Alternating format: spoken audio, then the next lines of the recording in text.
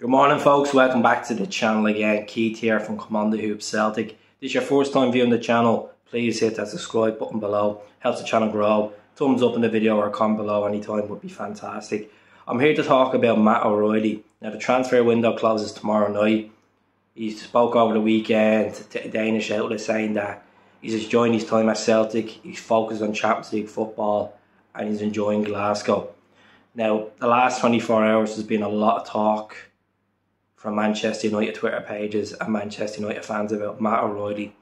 There's even talks of Scott McTominay coming this way and then Matt O'Riley going that way.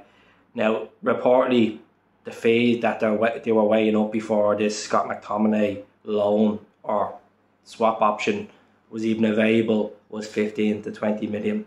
He's 21 years of age. His contract is till May 2026. He's a vital part of our team. You're seeing how how well he's playing, even against Dundee United the other day, was outstanding. He's going to go nowhere. I think a lot of Celtic fans need to realise that if he does go, it has to be a reasonable good, good amount of money for him to go. I don't think he will go anywhere till at least the end of the season. So these Manchester United fans that think that you know they're deluded in their head, they're spending over hundred odd million on players. What are they thinking? What are they absolutely thinking? They're not the club they once were. I think it's just desperation at this time. I know Ross Barkley is now a free agent. Celtic have inquired about him two weeks ago, and I don't even think that's happening. We have obviously got Sead Haksabanovic in, and he can play in that number eight position as well. So I can't see Matt O'Riley going anywhere. I think the Manchester United pages, the Arsenal pages need to calm the fuck.